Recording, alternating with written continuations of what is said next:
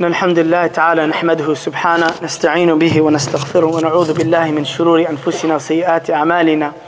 من يهده الله فلا مضل له ومن يضلل فلا هادي له. أشهد أن لا إله إلا الله وحده لا شريك له. وأشهد أن محمدا عبده ونبيه ورسوله. اللهم صل وسلم وبارك على نبينا محمد وعلى آله وصحبه وسلم تسليما كثيرا. ثم ما بعد أشهد أن أصدق الحديث كتاب الله.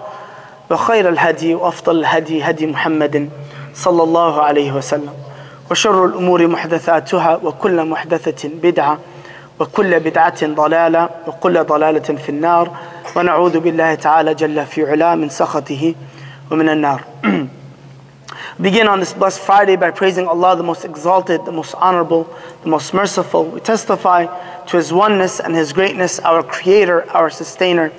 And we testify to the prophethood of the men He chose to be the role model of society and humanity until the end of time, Muhammad, the son of Abdullah, the son of Abdul Muttalib. We ask Allah Azza to bless Prophet Muhammad, to bless his family, to bless his community, to bless, bless all those who strive and struggle in the path and following in his footsteps until the end of time. Ameen. Allahumma ameen. Uh, my brothers and sisters, there's uh, special times of the year uh, for us to reflect and recall certain things, special uh, weeks, days, moments, events uh, that cause us to reflect upon them. And Allah Azza wa has made this entire gathering as a reminder and a reflection for something that can bring us closer to Him.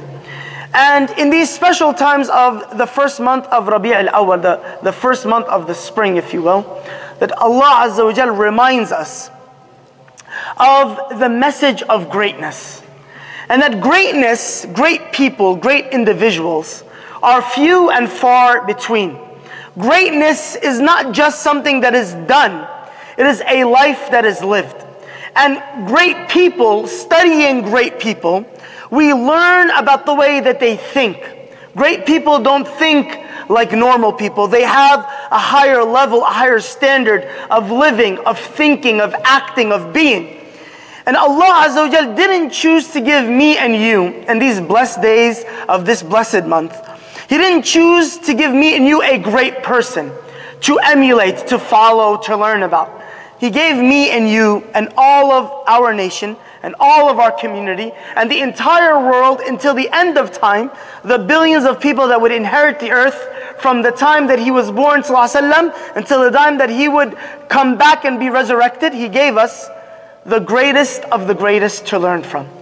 And Allah Azza wa Jal didn't create and make or bring into this world Muhammad وسلم, illa لقد, as Allah Azza wa Jal says, لقد كان لكم في رسول الله uswatun hasana. In these blessed days, Allah decided with His infinite wisdom and His infinite might to send the greatest human to all of humanity to learn from His greatness. And in these blessed days, in these blessed moments, inshallah ta'ala, in this khutbah, we would like to learn about the great blessings or a reminder of the great blessings of this great man sent to us and how we can live and emulate his greatness and how we can teach and inspire others through his greatness. The Prophet's message, his, his birthday, the day or the time or the, the, the, air, the around the time of his birth is not just to blow some candles or have some balloons. It's a reminder for our love and dedication to Him. That He, وسلم, He made it very clear to us that a part of our faith and our love to a part of our faith to Him is that we devote our love to Him. And He says, وسلم, لا يؤمن أحدكم. It's why He says, more than everything I have. So the Prophet وسلم, asked him, Ya Umar, even more than nafsika? Do you love me more than your own nafs, your own self? So Umar had to think about it. So the Prophet ﷺ told him, no, no, no, no. Not until I, you love me more than you love yourself. For Umar he came back after reflecting on this concept and he said, Ya Rasulullah, of course I love you more than I love myself. So the Prophet ﷺ said, Al-an al-Umar, Al-an, Ya Umar, Al-an. Now you have fully grasped the understanding of faith in your heart.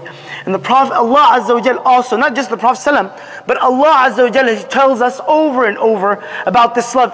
قُلْ إِن كُنْتُمْ تُحِبُّونَ اللَّهِ If you claim to love the Creator, the one that brought us from nothing and brings us back from nothing, the one that gives us sun and water, blood and air. If you claim to love the Creator, فَاتَّبِعُونِي Then love me and follow me. Allah will love you.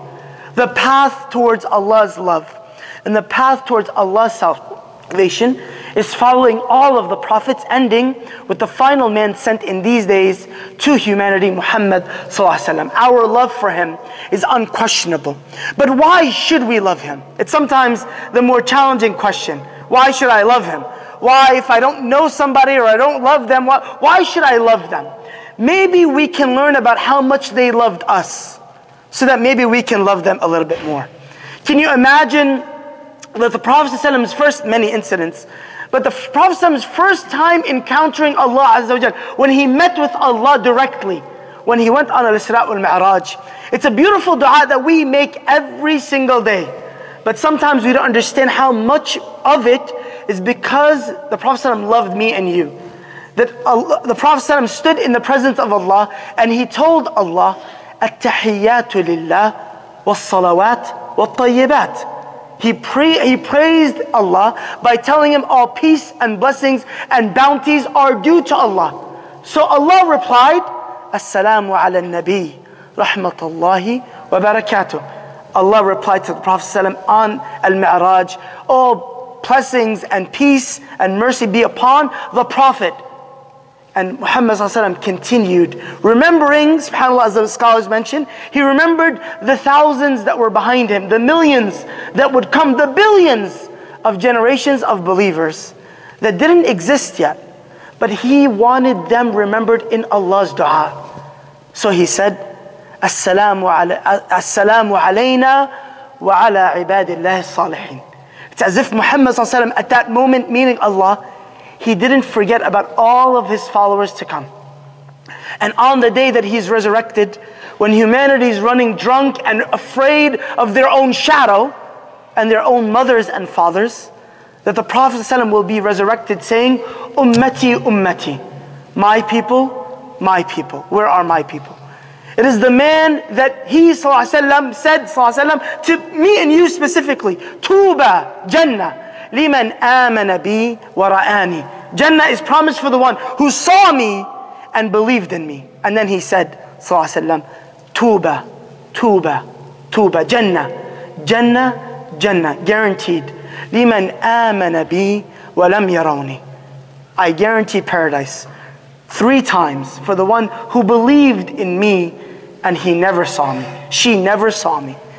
It's another level when the Prophet ﷺ has a dedication, a love, a devotion for me and you. And he's never met me and you.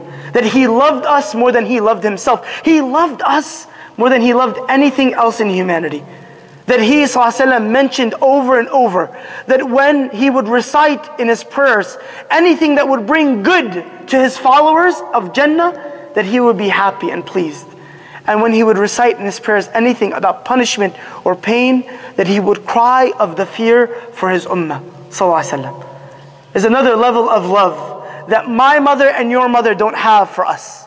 Our parents, our spouses, our children don't have the level of love that he had for us. So why should we love him? Why should we why should we yearn for him? Why should we learn about him? Because truly no human has loved his people and his followers more than Muhammad loved his followers. And I think that's an important reminder for us. And from there it comes, well, what can I do? How can I emulate his greatness? Because greatness is not just about stories and poems and songs. Those are all good. But greatness is made for me and you to learn from, to live like, to emulate, to be like role models, if you will.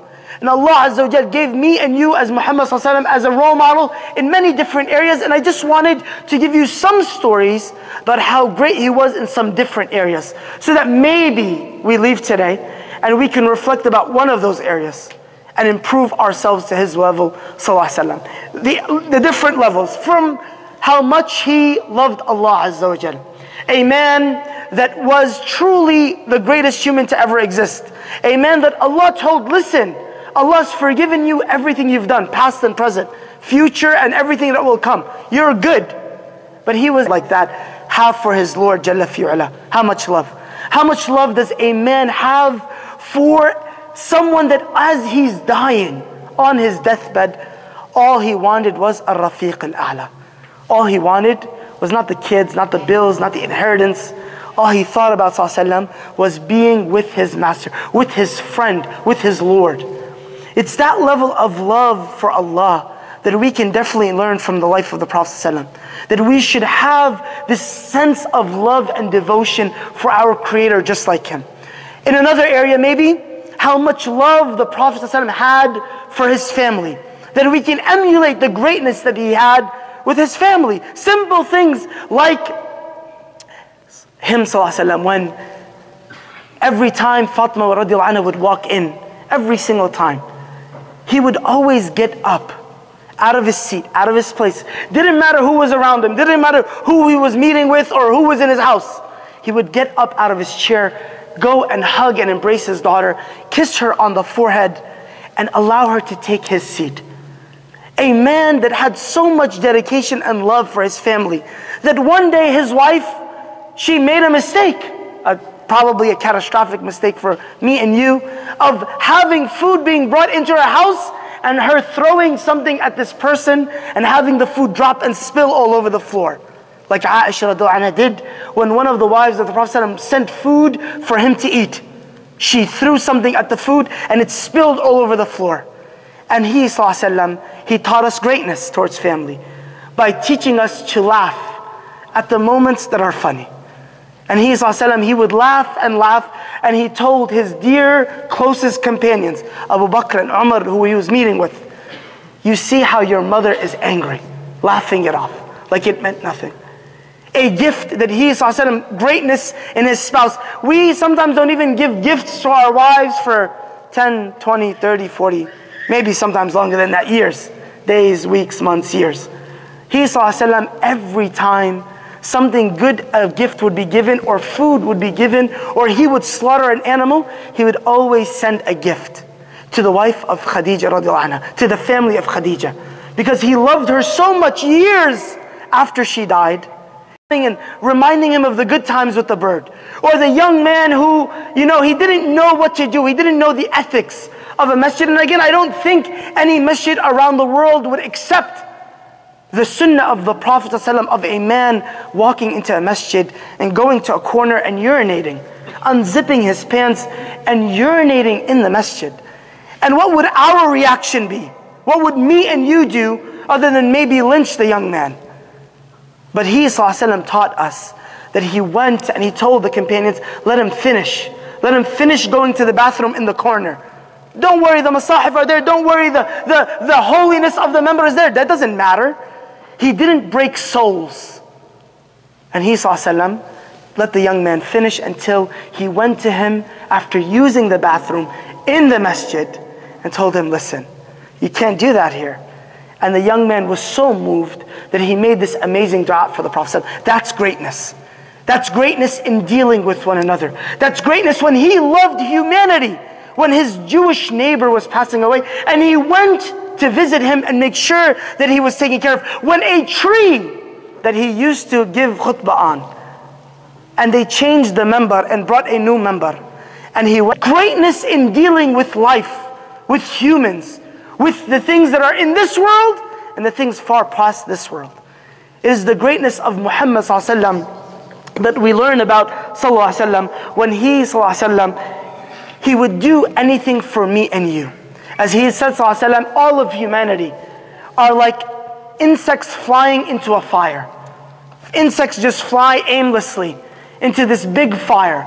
And he said, وسلم, that I am the one standing near that fire, trying to push humanity so that they don't fall into that fire, trying to save humanity. Every single life, every single moment, every single teaching of his was to save humanity's existence.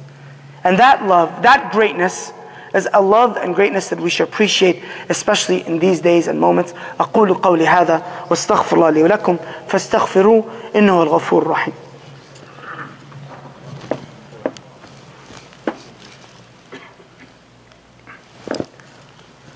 بسم الله والحمد لله والصلاة والسلام على رسول الله نشهد أن لا إله إلا الله نشهد أن محمد رسول الله ومصلي وسلم وبارك على نبينا محمد وعلى آله وصحبه وسلم تسليما كثيرا.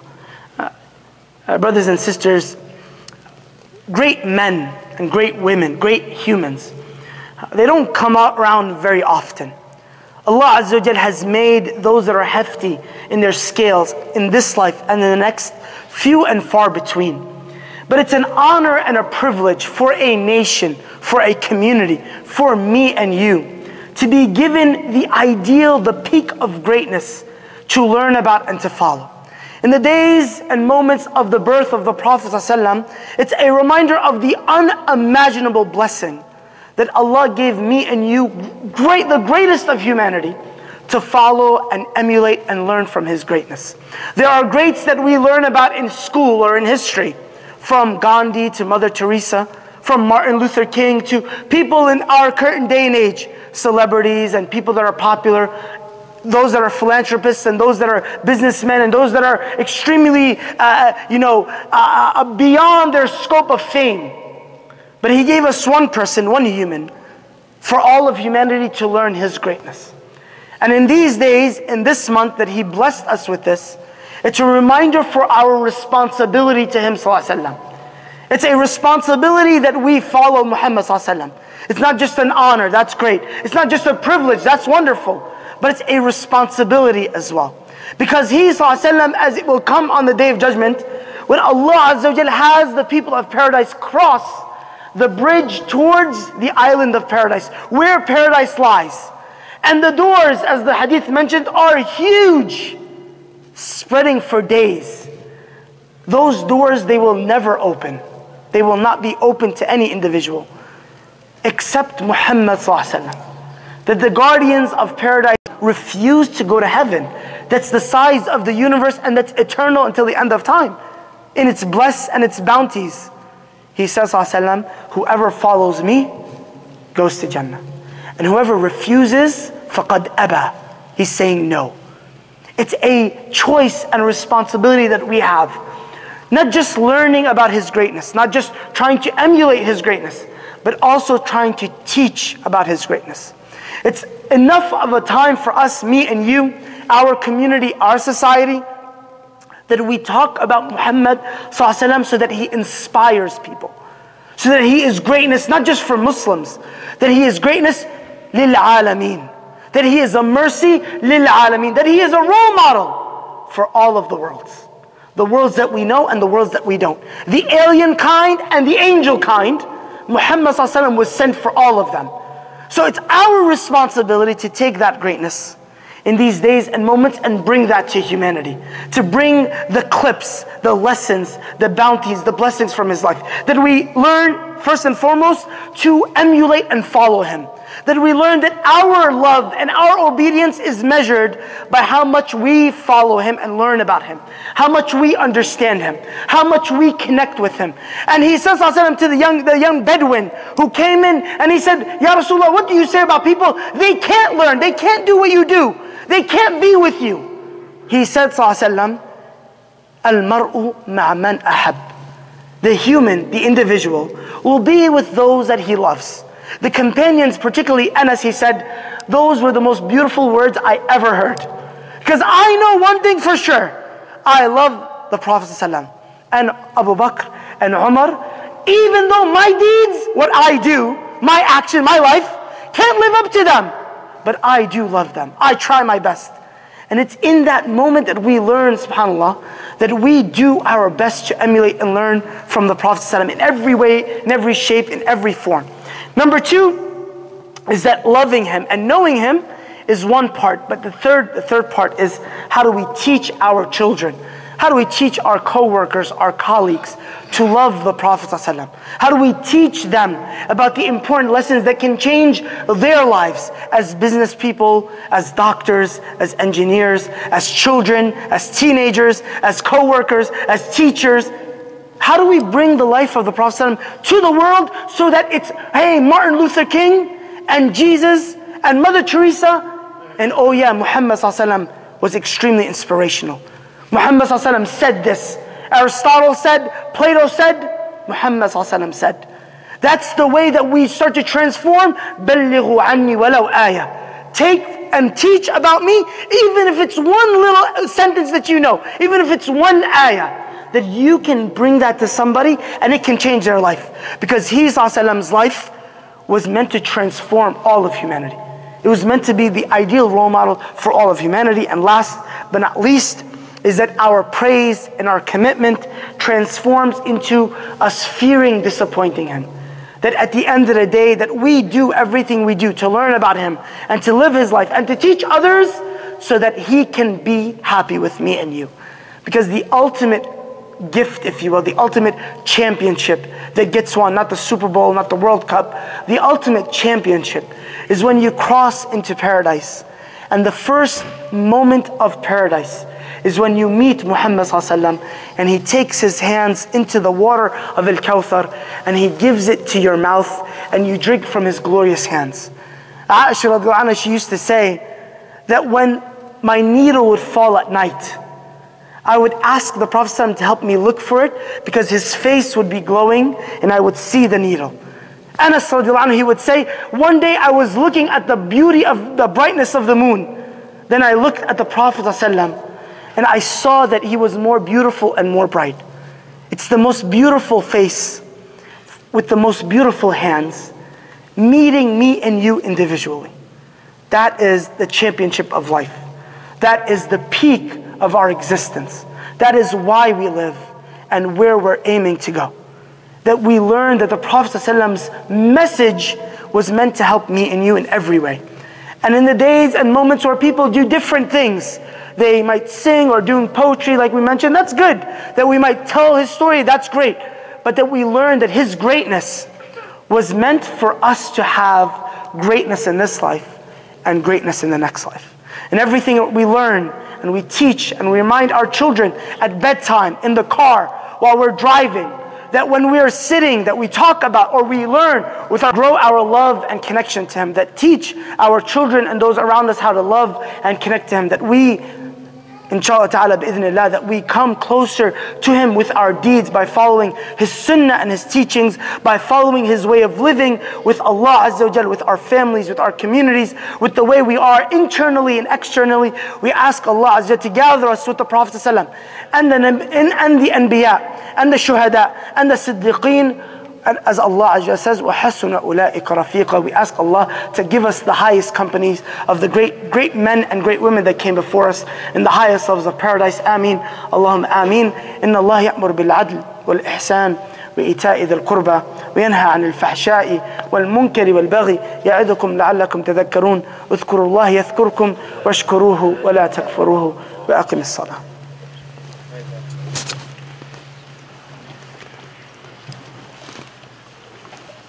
الله أكبر الله أكبر. أشهد أن لا إله إلا الله.